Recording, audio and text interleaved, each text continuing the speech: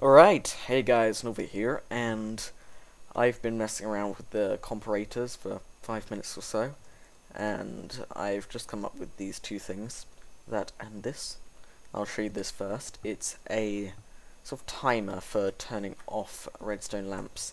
It creates a nice effect when you turn them off, because they gradually go down from the back, going down to the front, and it just saves for having loads and loads of complicated repeater setups, so I find this a better version.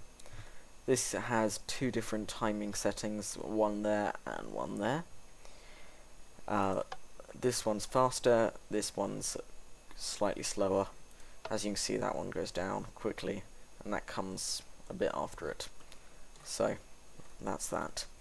And the way you build them is just comparator, comparator, redstone, redstone, redstone, redstone, going into a line.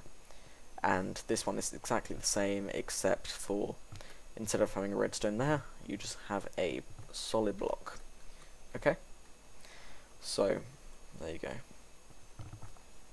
Now these um, they are sort of one tick pulse timers. So if I turn it on you can see it's creating one tick pulse by pushing the piston out uh, pushing the block out with the sticky piston but not retracting it, and then going back again to retract it. So, as you see it's a sticky piston. And uh, we've got this one as well, exactly the same, just in the opposite direction, to just show you it works in both directions. Whoops. So it works perfectly.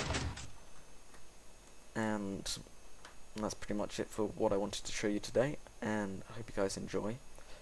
Uh, so, I'll see you guys later, and uh, bye-bye.